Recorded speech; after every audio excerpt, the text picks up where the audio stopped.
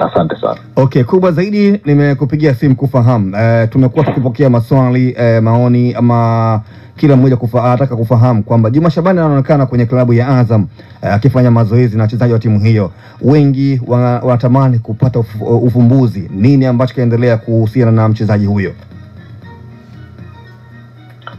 Ni hicho hicho hicho ambacho wamekiona ndo kinachoendelea, ni kwamba anafanya mazoezi na Azam FC uh, na hakuna zaidi ya hapo. Aliomba kama mchezaji, alikuja akaomba uongozi kwamba kwa sasa yeye hana timu na akikaa bila mazoezi kiwango chake kinaweza kikaporomoka.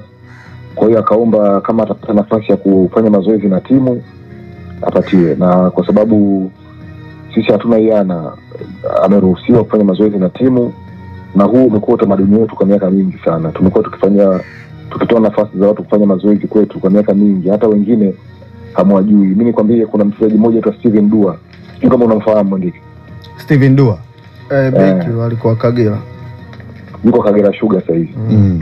alitoka kwa Uganda, hana timu nchini, alikaa pale Azam Complex anafanya mazoezi kwa miaka miwili, yupo tu anafanya mazoezi.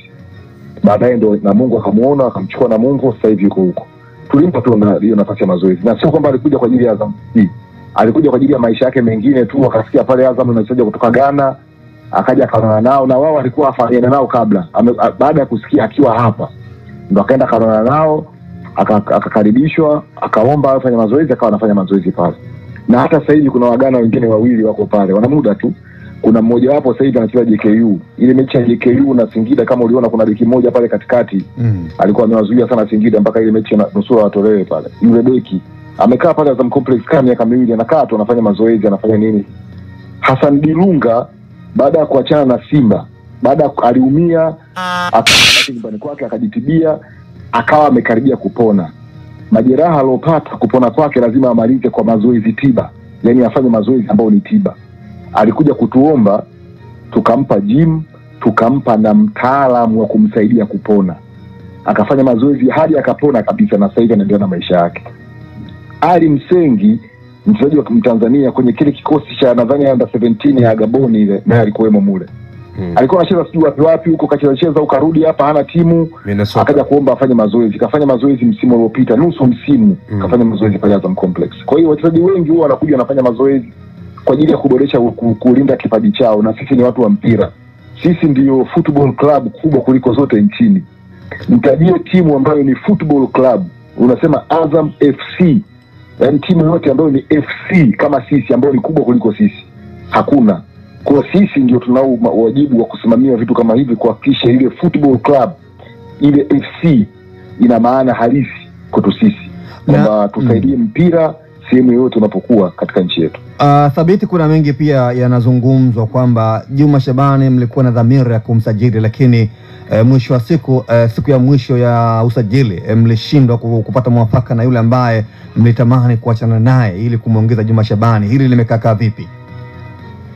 hasa haya maneno ni mengi tu yanasemwa. Yaani maneno ya kusemwa hivyo huwa yanakuwa mengi tu. Mwisho wa siku ni kwamba juma shabani anafanya mazoezi. Nimekwambia yote hayo wakina diunga na kwa sababu tu mlikuwa hamjui kama diunga anafanya mazoezi Azam complex. Lakini mngejua naye mngesema mtaka mumsajili. Yaani ni ni hivyo tu. Yaani watu wakiona wana huwa wanaunganisha doti. Ndio ulimwengu wametendao huko hivyo. Lakini ukweli ni huu ambao nimeusema. Lakini kama nyinyi viongozi wa Azam uh, mnatamani kufanya kazi na Juma Shabani, sisi kama viongozi hatuna mamlaka kwenye mchezaji anayeingia au kutoka azam. Hiyo ni kazi ya kocha. So hatuwezi kusema lolote kwenye hilo. Zaka, naam. Mimi ni kwa nataka kujua wachezaji labda wanaotoka nje kama alivyokuja Dua vile na huyo alichezaje JKU. Je, yale mahitaji muhimu basic need yanakuwa juu yake au juu ya timu labda hao malazi? wanajitegemea wao. Si tunawapa facility kwa ajili ya mazoezi. Hayo mambo mengine ya kwao wao. Si hatujui wanakaa wapi. Mm. tunachoangalia kwa mchezaji mgeni vile vibali vya kiserikali anavyo. Akiwa navyo as long as mwenyewe anajua anakaa wapi Mm. sisi tunampa vifaa kwamba anaomba afanye mazoezi uwanjani. Anapewa uwanja utafanya mazoezi hapa. Mm. bwana mi kufanya mazoezi peke yangu siwezi. Tunaangalia kama kuna mwalimu anaweza kawa na session anaweza kaingia kwenye session na mwalimu kama mwalimu ana, ana, ana, anaona anaweza kamruhusu kuingia kwenye session hiyo vyovyote vile inavyokuwa lakini tumsaidie afanye mazoezi Ikitokea mazoezi yake yasituathiri sisi ikitokea kitu cha msingi kwamba ikatuathiri sisi pia ikitokea kama kapata injury akiwa ana treni na, na nyinyi inakuwaje? Ah, hiyo hiyo hiyo ni la kwake, huyo sio mchezaji wetu, na hiyo yote tutazingatia kwamba Mm. tutakachokusaidia sisi ni kufanya mazoezi, mengine yote yatabaki kuwa yako. Ukiumia utajitibu mwenyewe, na mengine yote anabaki kwa ya kwake. Angeweza kuumia sehemu nyingine yoyote huko. Okay. Kwa hiyo sisi tunachofanya, tumempa nafasi ya kufanya mazoezi, mwisho hapo. Eh, lakini pia niwape pongezi bwana, kuna taarifa kwamba kuna mechi kama nne hivi zinachezwa za, za, za, za kimataifa kwa upande wa klabu bwana kwenye uwanja huo wa Azam. Hongereni sana kwa hili. Ah, asante asante, lakini kwetu sisi ni biashara Eh, na tunashukuru sana kwa milango inafunguka mpaka nje ya Tanzania, na sio sasa hivi tu, yani Eh.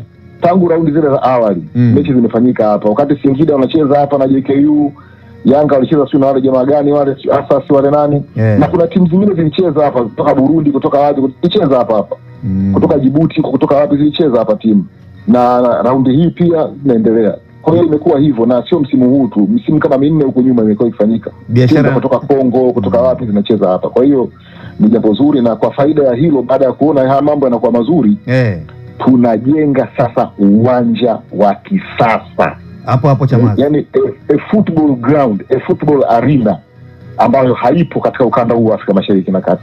Ndo Eh, bwana eh, habari njema hii. Na- Eh, shukrani sana Thabiti Zakaria zaka za kazi.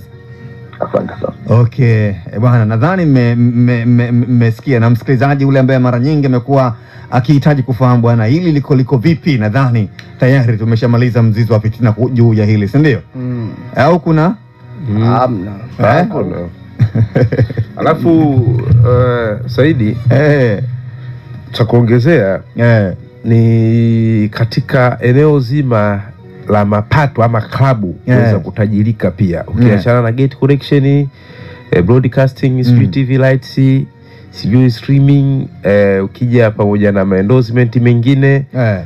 facilities ni eneo kubwa na lingine la klabu Mm. ama timu kuweza kuji, eh, kujiongezea kipato huwezi amini kwa games kadhaa zilizopigwa tu hapa yeah. eh, pale kwenye Azam Complex Mm. umeona hapa Chumi anaongea ni Azam, naweza kukwambia kwenye kipindi hiki tu cha miezi miwili au mingapi watakuwa wameingiza so chini na milioni e, mia moja na hamsini eh?